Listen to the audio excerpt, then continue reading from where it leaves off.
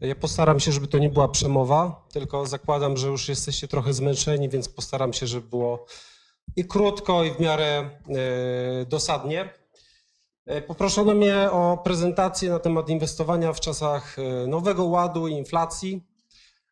Nowemu ładowi myślę, że poświęcę co najwyżej dwa zdania, bo uważam, że czynniki światowe są dużo ważniejsze niż czynniki lokalne. Zresztą Marcin Murowiec tutaj doskonale o Nowym Ładzie e, poopowiadał.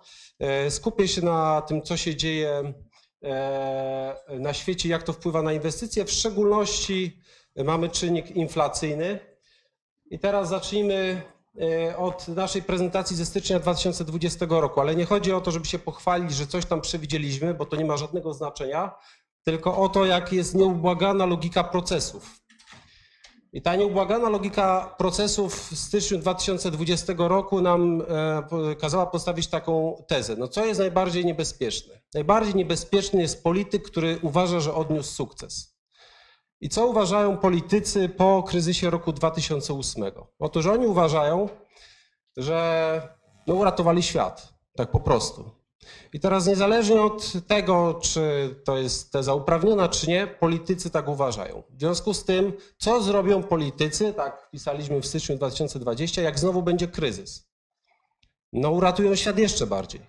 Czyli docisną gaz do dechy, bez żadnych ograniczeń, no bo przecież nie było żadnych negatywnych skutków poprzednich interwencji. To jest jedna rzecz, czyli politycy, którzy zareagują nie patrząc na ograniczenia. Druga rzecz jest taka, że no, politycy czują, są emanacją tłumu, że coś w tej polityce jest jakoś inaczej. I ludzie są niezadowoleni, są nierówności społeczne. I za dużo trochę korporacje może zarabiają. No to trzeba tym ludziom pomóc. Redystrybucja, protekcjonizm, keynesizm. I jak sobie weźmiemy te dwie rzeczy, to nasza teza była następująca. Przy kolejnym kryzysie nastąpi przełamanie inflacyjne i zacznie się długotrwały impuls inflacyjny. Dwóch rzeczy nie przewidzieliśmy. No po pierwsze tego, że kryzys wybuchnie dwa miesiące po tej prezentacji, czyli w marcu 2020 roku. Drugiej rzeczy, której nie przewidzieliśmy, to na kolejnych slajdach. I teraz, jakie według nas są kluczowe czynniki zmiany? Po pierwsze, wyceny, które są na najważniejszym rynku świata. Po drugie, pojawienie się długoterminowych zmian na stopach procentowych i na surowcach. Po trzecie, ESG.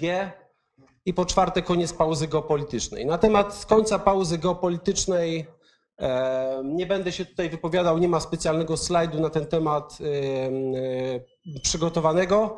Z naszego punktu widzenia to, że geopolityka się zmienia, to chyba wszyscy czujemy i to, co się dzieje na naszej granicy, to też jest tego efekt tak naprawdę. E, No ma znaczenie e, proinflacyjne w tym sensie, że prowadzi do e, za- zaniechania czy zatrzymania globalizacji i zmian w łańcuchach dostaw. Jeżeli chcemy mieć dostawcę bliżej siebie, nie dlatego, że jest najtańszy, tylko chcemy mieć bliżej siebie, żeby było bezpieczniej, żeby mieć szybciej te bez zakłóceń towary. Jak chcemy mieć zamiast taniej i szybciej, to znaczy jeżeli kluczem jest bezpieczeństwo dostaw, a nie taniość, no to mamy drożej. To jest czynnik proinflacyjny.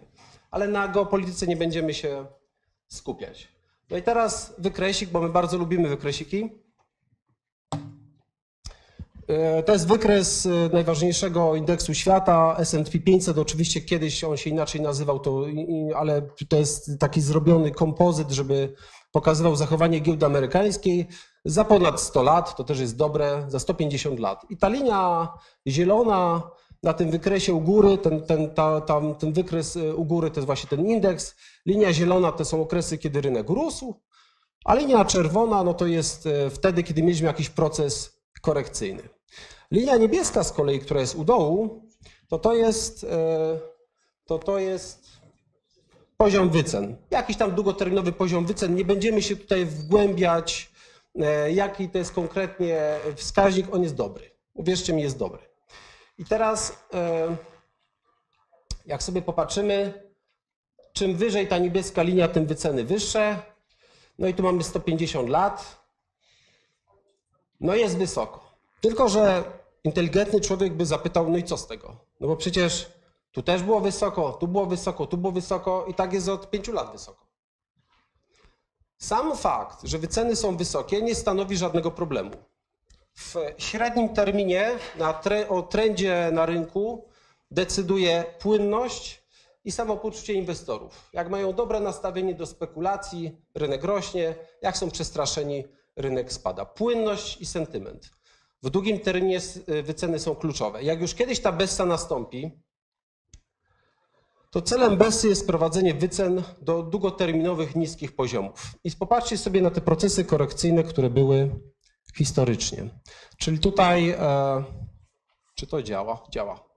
Tutaj od roku 2000 to jest pęknięcie bańki internetowej i tutaj ekstremalnie wysokie wyceny, sprowadzenie do niskich. Tu są lata 70., o nich trochę więcej. Wysokie wyceny, sprowadzenie do niskich. No tu jest słynny krach 29 roku. Wysokie wyceny do niskich. Wysokie wyceny do niskich, nie za wysokie, nie do za niskich. No, żeby było jakoś inaczej. Ale generalnie jak wychodzimy wysoko, potem schodzimy nisko, czasami odbywa się to w sposób ekstremalnie brutalny i krótki, a czasami po prostu przez długoterminowy proces korekcyjny, jak w latach tam drugiej połowy, znaczy w latach 70., to jest tam ponad 10 lat. Czyli jak już Bessa nastąpi, no to będziemy mieli jakiś długi proces korekcyjny, który sprowadzi wyceny do niskich, do niskich poziomów. Czyli to jest w długim terminie problem dla inwestowania majątku, no bo kiedyś ta Bessa przyjdzie przecież. Druga rzecz jest taka, że według nas wiele narzędzi pokazuje na to, że surowce weszły w długoterminowy trend wzrostowy. To jest druga rzecz, o której trzeba pamiętać. To jest wykres, ten u góry to jest wykres indeksu surowcowego za lat tam około 90. Ta zmiana, która jest w ostatnim, w ostatnim roku, ta dynamika zmian, która jest na surowcach po, po dużym dołku, świadczy o tym, że zaczęliśmy jakiś długoterminowy trend wzrostowy, tak jak tutaj i tak jak, i tak jak tutaj. Oczywiście są też inne narzędzia, które to pokazują. Naszym zdaniem to, co się dzieje na surowcach, pokazuje to, że ten impuls inflacyjny, który teraz mamy, to nie jest jakaś tam chwilowa rzecz, tylko rzecz, która ma znaczenie długoterminowe. Czy jest również długoterminowa zmiana na stopach procentowych?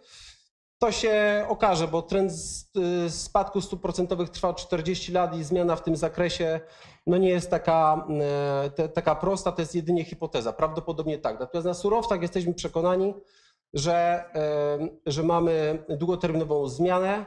Generalnie na surowcach jest tak, jakby się zapytali, a które surowce rosną, to generalnie jak zrobiono takie badania za 250 lat, to mniej więcej koszyk surowców rośnie z niewielkim przesunięciem, ale rośnie, wszystkie surowce rosną w miarę jednocześnie. Dlaczego? No chociażby z dwóch powodów. Po pierwsze surowce energetyczne jak rosną są komponentem kosztów innych surowców. Po drugie, jak mamy ucieczkę w trwałe aktywa, no to obejmuje to cały koszyk surowców. Czyli wysokie wyceny to raz, zmiana długoterminowa, która według nas jest potwierdzona na surowcach, to dwa, która jest proinflacyjna. Na stopach procentowych to zobaczymy. Trzecia rzecz, no i to jest coś, czego absolutnie nie przewidzieliśmy dwa lata temu. W ramach wojny z klimatem, o klimat, wprawdzie wojny, politycy y, stwierdzili, że ta wojna o klimat jest tak istotna, że są w stanie narzucić olbrzymie koszty na społeczeństwa z tym związane. I teraz jakby nie ma znaczenia, kto ma rację, ile tu jest ideologii, ile nie ma ideologii. Fakt jest faktem, że koszty są już. I teraz jaki jest skutek polityki tak zwanej ESG, która jest gigantycznym katalizatorem inflacji, o, o którym jakby no nie byliśmy w stanie przewidzieć wcześniej? No jest taki, że jeżeli mówicie różnego rodzaju firmom, które wydobywają kopaliny, że są odcięci od kapitału i tego kapitału nie mogą dostać tanio, to oni po prostu nie inwestują. Jak nie inwestują, no to zmniejsza się podaż surowca w długim terminie i to oznacza, że żeby jakoś wyrównać to wszystko, po prostu cena tego surowca musi być większa. Więc mamy tak, że mamy długoterminową zmianę, czyli politycy są długoterminowej zmiany związanej tam z polityką klimatyczną, ale koszty no, są już teraz, widzicie, po kosztach surowców energetycznych i nie widać powodów, jeżeli politycy tej sytuacji nie zmienią, żeby to się, to się jakoś zmieniło. Więc mamy gigantyczny katalizator inflacji. Druga rzecz, no taka trochę może bardziej e, wolnościowa, to cała polityka ESG e, no jest, jest również narzucana instytucjom, czyli jest próba narzucenia instytucjom przez różnego rodzaju regulatorów, czy tam nacisk trochę taki e, inny niż bezpośrednio regulacyjny, że mają w sposób etyczny inwestować. No naszym zdaniem powinno być tak, że my mamy tak inwestować, żeby zarabiać dla klientów pieniądze, a jak już klienci zarobią te pieniądze, to sami według własnych zasad etycznych klienci mają zdecydować, jak je wydawać, posługując się swoim ESG, a nie ESG, które jest narzucone przez regulatorów. No i teraz, żeby Wam zobrazować, jak wygląda potencjalne środowisko, gdzie mamy wysoką inflację i startujemy z wysokich wycen, to znowu jest ten indeks akcji giełdy amerykańskiej, mm, tylko w takim przybliżeniu, lata 66 do 82. No jak to John Husman ładnie nazwał, bardzo interesująca droga donikąd. E, czyli wzrost, spadek, wzrost, spadek, wzrost, spadek, tylko wzrosty potężne i spadki potężne. I to nie jest oczywiście tak, że teraz będzie identycznie, bo nigdy nie jest. No tylko chodzi o to, żeby pokazać, jak wygląda e, zmienność w cyklu e, długoterminowym i szczerze mówiąc, no sądzimy, że teraz będzie w jakiś sposób podobnie, bo startujemy z bardzo wysokich wycen i mamy środowisko e, inflacyjne. No dobrze, no to jakie są rozwiązania? No takie tutaj wymieniłem kilka takich e, narzucających się e, rzeczy, które są często przy inflacji wspomniane, czyli w co inwestować, czyli nieruchomości, kruszce, e, akcje spółek tam energetycznych, czy tam w ogóle koszyk akcji spółek surowcowych, czy ostatnio się pojawiły kryptowaluty. No i to tak krótko omawiając, no kryptowaluty, my doceniamy wolnościowy aspekt tutaj kryptowalut, doceniamy technologię, no doceniamy w ogóle różne rzeczy, y, ale y, no, z całym szacunkiem nie sądzę, żeby ktoś y, odpowiedzialny z dużym majątkiem miał więcej niż kilka procent w kryptowalutach, a co więcej, przy obecnym natężeniu spekulacji my uważamy, że kryptowaluty są absolutnie bezcenne, w tym sensie, że jako pierwsze pokażą koniec hossy na rynkach. To znaczy jest to najczulszy barometr spekulacji, w związku z tym nie będzie żadnej besty na pozostałych rynkach, dopóki kryptowaluty e, się nie załamią. E, co nie zmienia faktu, że no spotyka się taką opinią, że jest doskonały hedge zarówno przed inflacją, deflacją, no generalnie jest odpowiedzią na wszystko, więc jakiś tam procent portfela można mieć. Czy nieruchomości? Generalnie zamożne rodziny na świecie. E, bardzo duży kapitał jest wkładany do funduszy, to było tutaj wspomniane na którymś z wykładzie, do funduszy, które inwestują w najem krótkoterminowy i kupują na przykład teraz w Polsce tam setki mieszkań, no to jest ochrona przed inflacją w tym sensie, że po prostu najem krótkoterminowy jest krótkoterminowy i można zwiększać cenę, jak tam inflacja e, rośnie. No problem trochę jest taki, że jak sobie patrzymy na ceny nieruchomości na całym świecie i w Polsce, to trudno powiedzieć, żeby one były niskie kruszce, z kruszcami jest strasznie dużo ideologii i to w obie strony, czyli są goldbagowie, którzy mówią, którzy mówią, że tam tylko mieć to złoto, srebro, nic więcej nie trzeba mieć i to tam i gdzieś to tam zakopać.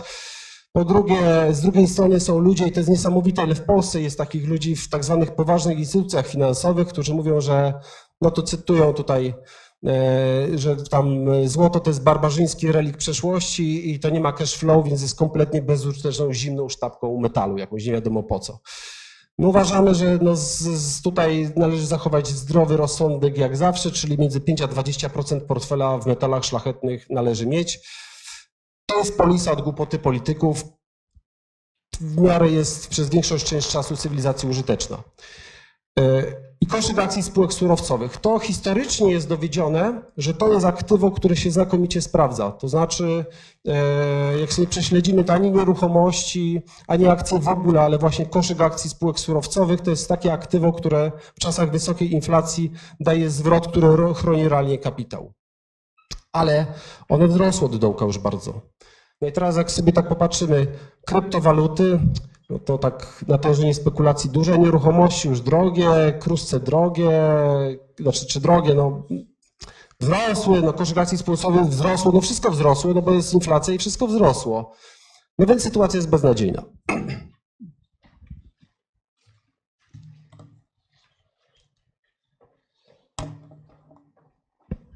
Teraz, żeby z tej sytuacji wyjść, no to trzeba tutaj dwoma prostymi maksymami się posłużyć. Czyli inwestowanie jest rzeczą prostą, ale niełatwą i nic z tym nie zrobimy. druga, którą bardzo lubimy, e, Warrena Buffetta, inwestowanie nie wymaga żadnej superinteligencji. W ogóle inteligentni ludzie na rynku często mają straszny problem, bo wszystko próbują przewidzieć, zamiast skupić się na trendzie.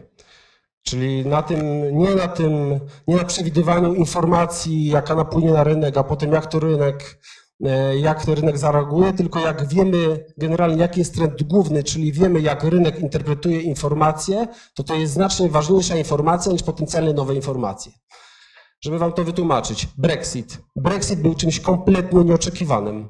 Co więcej, był czymś naprawdę negatywnym i dla rynków finansowych, i dla gospodarki. A mimo to rynki sobie poradziły z nim w kilka dni i po kilku dniach rynek przeszedł do trendu wzrostowego. No właśnie, dlaczego? Bo rynek zaczynał nowy trend wzrostowy po kilkunastu miesiącach e, e, e, marazmu. Czyli ktoś, kto posiadałby potencjalnie, ale nie mógł, bo to była nieoczekiwana informacja, informacja o wynikach Brexitu, no w średnim terminie nic by na tym nie zarobił, bo jakby rynki to zlekceważyły, a trend miał znaczenie. I teraz dlaczego, dlaczego tutaj o tym e, mówię? Ważna jest dyscyplina. I teraz jak to wszystko e, złączyć? Czyli aktywa inflacyjne są drogie, mamy e, w ogóle drogi, najważniejszy rynek świata, będziemy mieli zmienność w cyklu długoterminowym, mamy trend wzrostowy na surowcach długoterminowy, który oczywiście będzie podlegał wahaniom. Jak z tego wybrnąć? A, jeszcze mamy nowy ład.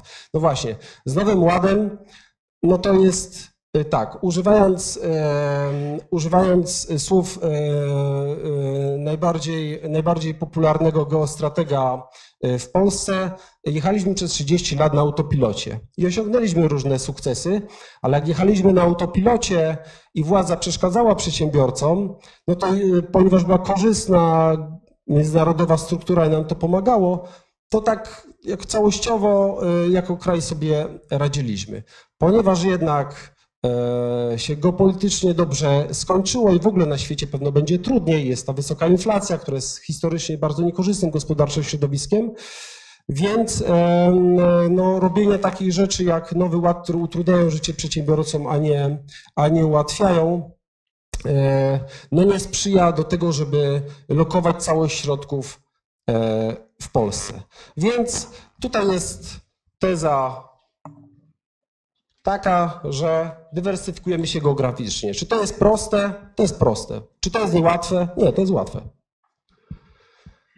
Ale Dużo gorzej jest z tym globalnym podejściem, nie dotyczącym Nowego Ładu, tylko tym, co jest ważniejsze, tylko, czy, czy tego, co dzieje się w Polsce, tylko tego, co się dzieje na świecie. Jeżeli mamy tak, że mamy wysoką zmienność w cyklu długoterminowym i mamy długoterminowy trend wzrostowy na surowcach i będziemy mieli ciągle taką jazdę góra-dół, góra-dół, to po prostu na każdym dużym spadku mamy kupować aktywa inflacyjne, w tym w szczególności koszyk akcji spółek surowcowych. I tak raz na jakiś czas, za każdym razem, jak rynek się załamuje. Czy to jest proste? To jest proste. Czy to jest łatwe? Nie. Czy to wymaga dyscypliny? Tak. Dziękuję bardzo.